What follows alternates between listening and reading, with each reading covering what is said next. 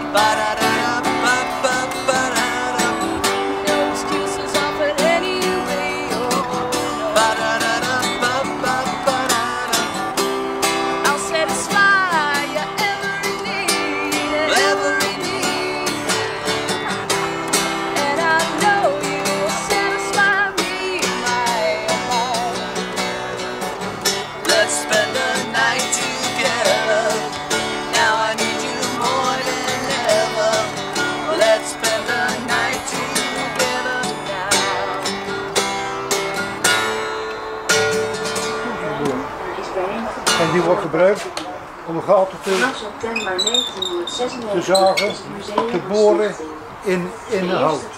En dat deden ze om, om spanten te maken met pen en Er gatverbinding. beschikbaar En dan werden daar gaten mee geboren. Aan de andere kant werden pennen ge- gezaagd en zo werd dat in elkaar gemaakt. En die kon op behuizing. Kon hem op schoon zetten. En dit is een-. Deze kerk, centraal gelegen op een schitterende locatie en met een bijzondere uitstraling, heeft een historische achtergrond die terug gaat tot 1487.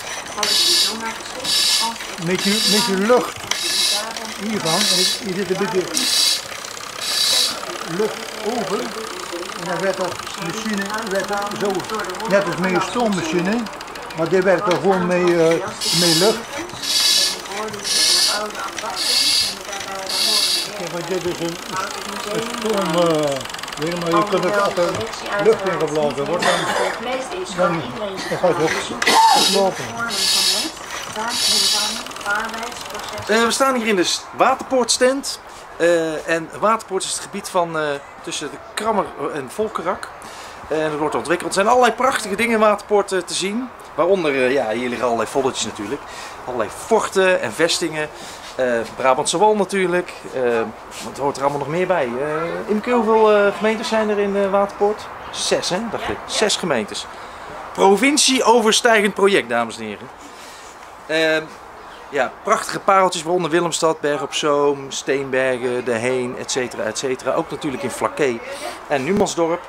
Ehm, en het bruist in Waterpoort. En dat zijn we hier aan het laten zien. Kinderen kunnen in onze stand eh, kruidenboten maken van de Kletsmajor op Fort Sabina. Eh, Fort Sabina is een mooi fort. Onderdeel van de stelling van Willemstad. Vijf forten. Ehm, Fort de Hel, Fort Sabina, Fort Prins Frederik, Fort Buitensluis en Fort de Bovensluis. Eh, natuurlijk de West-Brabantse waterlinie niet vergeten. Ook prachtige forten te zien. En eh, dat kun je allemaal beleven met onder andere fietsroutes.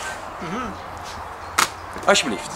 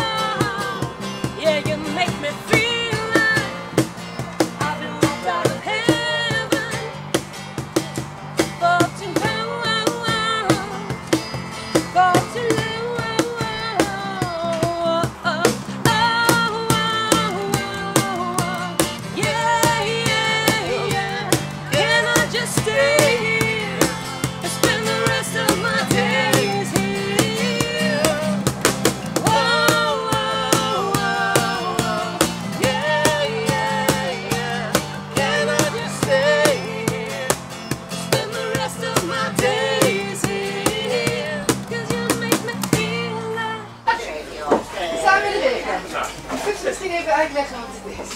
Nou, dan kan jij nog veel en veel beter. Maar ik vind jullie een fantastische netwerkorganisatie die echt met gesloten beurs fantastische projecten realiseert. Door ondernemers, maatschappelijke organisaties op allerlei manieren te koppelen. Op beursvloeren, op eh, netwerkbijeenkomsten. Nou, en dat, eh, dat werkt. Wij pakken de vier O's, hè? Dus de overheid, de ondernemers, onderwijs en maatschappelijke organisaties. En die maken gesloten, eh, met gesloten beurzen maken die eh, heel veel mooie matches. We hebben, vorig jaar hebben we bijna voor 1 miljoen aan gesloten beurzen aan matches eh, gemaakt. Dus puur door de evenementen, maar ook gewoon omdat wij ge- 24 uur per dag bijna bereikbaar zijn en ze ons kunnen bellen met eh, een vraag of een aanbod. En dan gaan wij erachteraan binnen de partners. We zitten er ook in het gebouw van de verzekerorganisatie hier allemaal bij elkaar of niet? Jullie hebben eh, Zouden we wel heel graag willen. Ja, inderdaad, eh, dat even bekijken. Ja, ja, nou ja, ik, eh, we moeten gewoon zien, want kijk, het hele idee was daar, eh, in ieder geval Technisch Innovatiecentrum eh, Ja. wordt daar gerealiseerd. En in hoeverre eh, kun je dat versterken door daar allerlei andere organisaties aan te koppelen? Of verlies je dan focus? En hoe voorkom je dat? Eh, hoe zorg je ervoor dat dat ook een eh, werkbaar geheel wordt? Ja. Moeten we het inderdaad over ja, we moeten eens een keer samen op elkaar, dingen die versterken elkaar. Onze ervaring is wanneer je leuke initiatieven met elkaar in contact brengt, dat je nog mooiere initiatieven eh, gaat krijgen. Zonder dat daar weer hele eh, nieuwe eh, omgevingen van moeten worden opgetuigd. Ja, het mag niet competitief zijn, het moet elkaar versterken. Ja. En het Technisch Innovatiecentrum is in wezen echt ook als een eh, verbinding tussen onderwijsinstelling eh, bedoeld.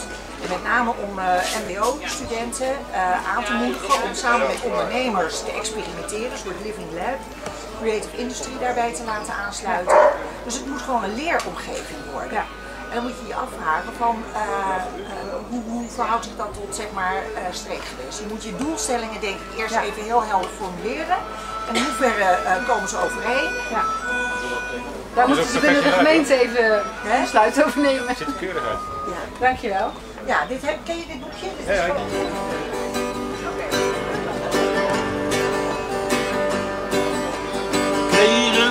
van een belastingmeneer. Hij zei je hebt betaald, maar ik wil meer. Mijn huis brandde af en ik was niet blij. Toen de rook was opgetrokken, weet je wat ik zei? Wat er ook gebeurt, dan zit het niet mee, ik ben oké. Op een dag kreeg ik ruzie met mijn grote bek.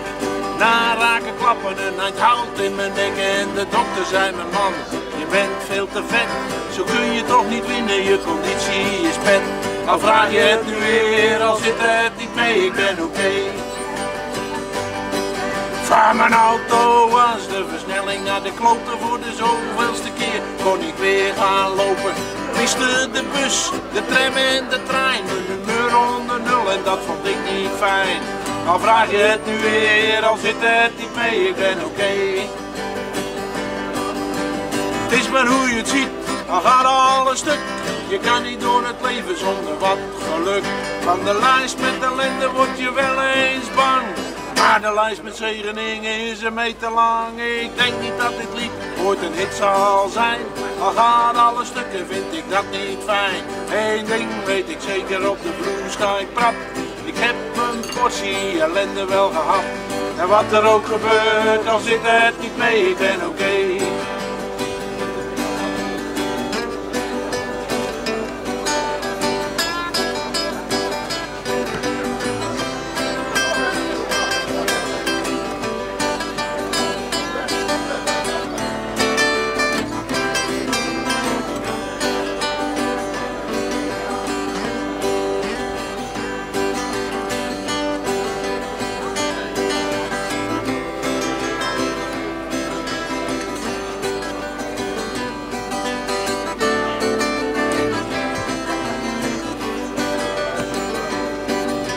Ik weet niet of het lied ooit een hit zal zijn. En gaan alle stukken vind ik dat niet fijn. Eén ding weet ik zeker, op de blues ga ik prap Ik heb mijn portie ellende wel gehad.